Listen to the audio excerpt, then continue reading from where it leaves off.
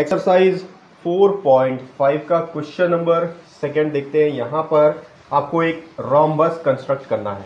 एक rhombus draw करना है, जिसका डायगोनल आपको दिया हुआ है 5.2 सेंटीमीटर और 6.4 सेंटीमीटर तो रोम्बर रोम्बस भी एक स्पेशल क्वाड्रिलेटरल होता है। क्वाड्रिलेटरल का एक स्पेशल केस है रोम्बस क्यों होता है स्पेशल क्योंकि इसके भी चारों साइड्स इक्वल होते हैं डायगोनल्स परपेंडिकुलर बाइसेक्टर होते हैं। आप पिछले चैप्टर में पढ़ चुके हो रॉम्बस के बारे में, उसके प्रॉपर्टीज़ के बारे में आपको पता है।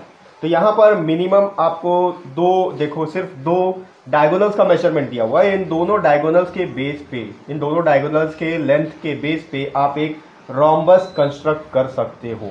इसलिए एक रॉम्बस भी एक स्पेशल केस होता है क्वाड्रिलेटरल का। ठीक है? तो क्या करेंगे? पहले इसका एक रफ डायग्राम ड्रॉ कर लेते हैं। जनरली रॉम्बस को इस तरह से हम लोग ड्रॉ करते हैं। ताकि ये स्क्वायर से अलग दिखे, क्योंकि रोम्बस और स्क्वायर दोनों के जो साइड्स होते हैं, वो इक्वल लेंथ के होते हैं, ठीक है? तो रोम्बस को हमेशा ऐसे ड्रॉ किया जाता है, ऐसे शो किया जाता है। और यहाँ पर इसके डायगोनल्स का लेंथ दिया हुआ, ये एक डायगोनल हो गया, ये दूसरा डायगोनल हो गया।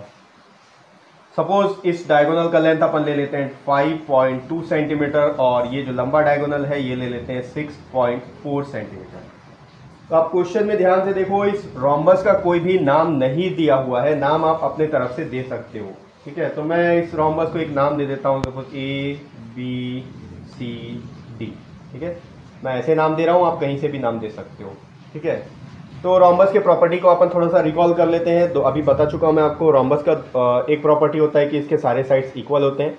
डायगोनल्स को लेके इसका जो प्रॉपर्टी है, वो ये है कि रोम्बस के जो दो डायगोनल होते हैं, दोनों डायगोनल परपेंडिकुलर बाइसेक्टर होते हैं। परपेंडिकुलर बाइसेक्टर मतलब क्या होता है? कि इस पॉइंट ऑफ़ इंटरसेक्शन से, यहाँ पर सपोज़ इसका नाम ओ है, ठीक है? इस पॉइंट ऑफ़ इंटरसेक्शन पे डायगोनल का जो पॉइंट ऑफ़ इंटरसेक्शन है, यहाँ पर चारों तरफ़ 90 डिग्री का एंगल बनेगा। ये एंगल भी 90 डिग्री का होगा, ये एंगल भी 90 डिग्री का होगा, ये एंगल भी 90 डिग्री का होगा, और ये साइड का एंगल भी 90 डिग्री का होगा। तो वो हो गया परपेंडिकुलर अब बाइसेक्टर क्या होता है? बाइसेक्टर मतलब किसी भी चीज़ को दो इक्वल पार्ट में डिवाइड करना। तो सी ए जो है, ये दो इक्वल पार्ट में डिवाइड होगा। यानी कि 6.4 सेंटीमीटर जो लेंथ है, वो सी ए का लेंथ है। सी ए अब देखो, बीच में सेंटर में इसके ओ है।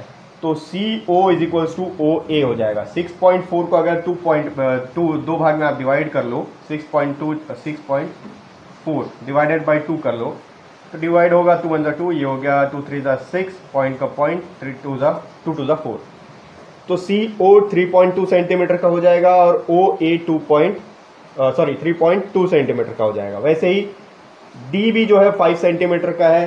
5.2 सेंटीमीटर तो 5.2 को अगर टू से डिवाइड करें टू वन ज़ा टू ये होगा टू टू ज़ा फोर डेसिमल वन यहाँ से शिफ्ट हो गया टू सिक्स ज़ा twelve two point six centimetre ठीक है? तो D O two point six centimetre का होगा और O B two point six centimetre का होगा। ये कैसे पता चल रहा है हम लोग को? रोम्बस के प्रॉपर्टी से, क्योंकि रोम्बस का एक प्रॉपर्टी बोलता है कि इसके जो दो डायगोनल होते हैं, दोनों डायगोनल परपेंडिकुलर बाइसेक्टर होते हैं। ठीक है? तो परपेंडिकुलर बाइसेक्टर आपको क्लियर हो गया होगा। अब अपन इसका डायग्राम ड्रॉ करना शुरू कर देते हैं। तो डायग्राम ड्रॉ करने के लिए सबसे पहले डी बी को बेस ले लेते हैं। डी बी का लेंथ हमने लिया है 5.2 सेंटीमीटर आप चाहो तो यहाँ पर लिख सकते हो D B is equals to 5.2 centimetre और A C is equal to 6.4 centimetre. ये इसलिए लिख लो क्योंकि क्वेश्चन में आपको पर्टिकुलर कोई नाम नहीं दिया हुआ है, नाम आप अपने तरफ़ से दे रहे हो, ठीक है? तो अब क्या करेंगे? डी बी पहले ड्रॉ करते हैं तो सेंटर में आप एक बेस ऐसा ड्रॉ कर लो। ये हो गया डी ये हो गया बी ठीक? और इसका लेंथ दिया हुआ है फाइव पॉइंट टू सेंटीमीटर। आप इन दोनों डायगोनल में से कोई भी डायगोनल पहले ड्रॉ कर सकते हो। ठीक है? जैसे आप ड्रॉ करोगे, उसके अकॉर्डिंग ही आपका डायग्राम बनेगा।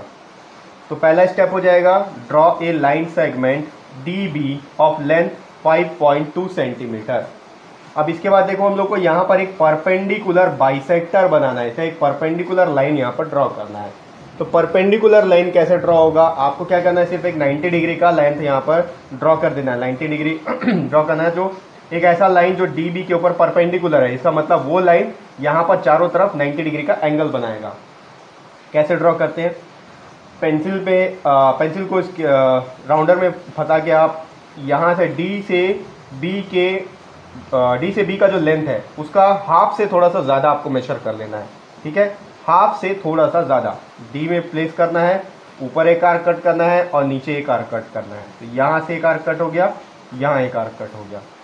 सेम मेज़रमेंट से बी में राउंडर को प्लेस करना है, इस जो आर्क आप ड्रॉ कर चुके ऊपर नीचे, इसको इंटरसेक्ट यानी कि कट कर लेना है ऐसे। ठीक? अब इन दोनों पॉइंट ऑफ़ इंटरसेक्ट को इंटरसेक्टिंग पॉइंट को ज्वाइन करते हुए एक लाइन आपको ड्रॉ कर लेना है, एक लाइन सेगमेंट आपको ड्रॉ कर लेना है। ठीक? ये ड्रॉ हो गया। अब बहुत बार गलती ये होता है कि लोग क्या करते हैं, इतना इतना कर लेने के बाद में ऊपर में सी पॉइंट है तो इस डी को इस इंटरसेक्टिंग पॉइंट से जोड़ के इसको सी लिख देते हैं और नीचे में ए है तो डी और बी को जोड़ के यहाँ पर ए लिख देते हैं। तो वो गलत हो जाता है, ठीक है? अब आपको करना क्या है? यहाँ पर एक 90 डिग्री का एंगल बन गया है। इसका स्टेप क्या होगा? Make a perpendicular line on D B ठीक है? बस इतना ही लिखना है आपको। Make a perpendicular line on D B which bisects D B ये भी लिख सकते हो विच बाइसेक्स डी बी ठीक है? उसके बाद यहाँ पर देखो, C से जो O है, ठीक है इंटरसेक्टिंग पॉइंट का नाम आप O दे दो। C से O का जो लेंथ है, वो 2.6 सेंटीमीटर का आएगा। आप यहाँ पर लिख सकते हो C O is equals to O A ठीक है? ये C O is equals to O A is equals to ये वाला था, ठीक है? ये 6.4 का है। दो पार्ट में डिवाइड हुआ तो 3.2 सेंटीमीटर यानी कि C O three point two centimetre का है और ओ ए भी two point three point two centimetre का है। तो आपको क्या करना है? राउंडर में पेंसिल फंसा के स्केल से 3.2 सेंटीमीटर मेशर कर लेना है। With O as a centre यहाँ पर आपको एक आर्क ऊपर में कट करना है। सपोज़ इस लाइन का अपन नाम दे देते हैं एल एम ठीक है? ऊपर में एक यहाँ पर ओ, ओ में प्लेस करके 3.2 सेंटीमीटर से ऊपर एक आर्क कट करना है। सेम मेज़रमेंट से आपको नीचे भी एक आर्क कट कर लेना है यहाँ से था। ठीक? स्टेप क्या हो जाएगा? With O as a centre and radius 3.2 centimetre make an arc above and below the perpendicular line L M ठीक है? या फिर above and below the line line segment D B on L M ठीक है? उसके बाद इस point of intersection का आप नाम दे सकते हो। सी इसका नाम हो जाएगा डी ठीक? अब लास्ट स्टेप आपको ज्वाइन कर लेना है. Join C D C B D अच्छा इसका नाम सी ये ए है, ठीक है? ये ए है. D A and A B ये रोम्बस अपना कंस्ट्रक्ट हो गया है.